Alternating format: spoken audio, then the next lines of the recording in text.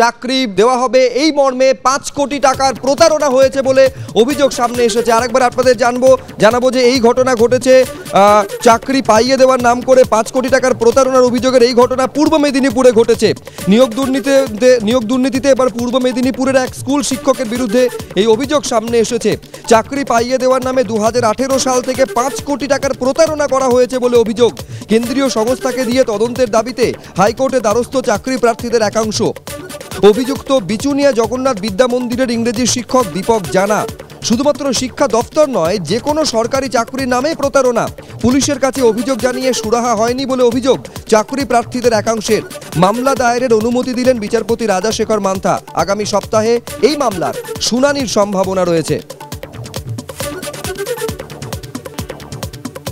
কাঁথি থানা।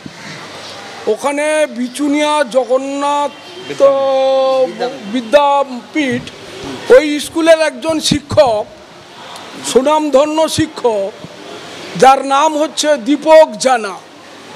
সেই দীপক জানা দু উনিশ সালে আমার কাছ থেকে চার লক্ষ টাকা নিল, আমার ছেলেকে চাকরি করে দেবে বলে।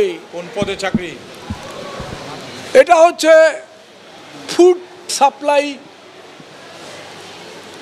ফুড সাপ্লাই অফিসে দীপক জানা, সে আজ পর্যন্ত কাগজপত্রগুলো দিল না বলে তাই আমি আজকের মহামান্য কলকাতা হাইকোর্টের কাছে দ্বারস্থ হয়েছি। পূর্ব মেদিনীপুরের একজন স্কুল শিক্ষক, তার নাম দীপক জানা। তার বিরুদ্ধে একটা অভিযোগ উঠে আসছে যে সে নাকি মার্কেট থেকে প্রায় পাঁচ ছ কোটি টাকা তুলেছে বিভিন্ন লোকজনকে চাকরির ভুয়ো আশা দেখিয়ে।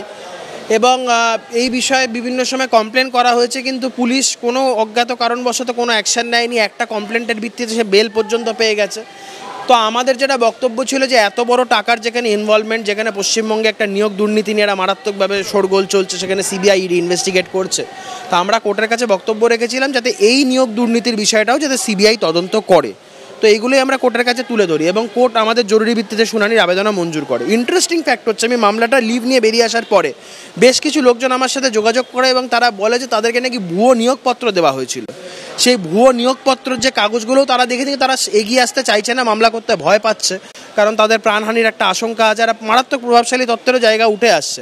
এবং তার থেকেও আরও একটা ইন্টারেস্টিং বিষয় হচ্ছে যে গোপাল দলপতি যাকে নিয়ে এত কথা হচ্ছে, এই গোপাল দলপতির বাড়ি হচ্ছে এই দীপক জানার থেকে ঢিলছড়া দূরত্বে। তো অটোমেটিক্যালি অনেক কিছু দুয়ে দুয়ে চার হওয়ার জায়গা আছে, এটা আমরা কোর্টের সামনে তুলে ধরবো এবং কোর্ট তার রায় শোনাবে। গ্রুপ সি এবং নাইন টেনে শূন্যপদে নিয়োগের ওপর অন্তর্বর্তী স্থগিতাদেশ জারি করল সর্বোচ্চ আদালত আগামী এক সপ্তাহের জন্য। এই অন্তর্বর্তী স্থগিতাদেশ বহাল থাকবে। নির্দেশ বিচারপতি অনিরুদ্ধ বসু এবং বিচারপতি সুধাংশু ধুলিয়ার বেঞ্চের।